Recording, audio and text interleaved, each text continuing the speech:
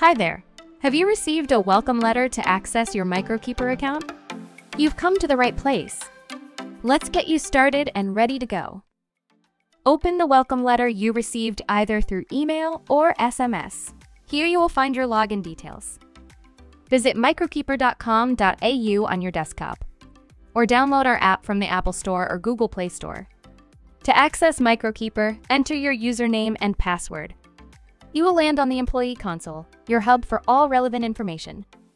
On your first login, complete your profile by filling the remaining details. Click on Finish Profile to get started. You'll be required to enter personal and employment details, tax file information, banking and superannuation details. And you might be required to complete a VEVO check as well. Once completed, you're all set and ready to go. Congratulations and welcome to MicroKeeper.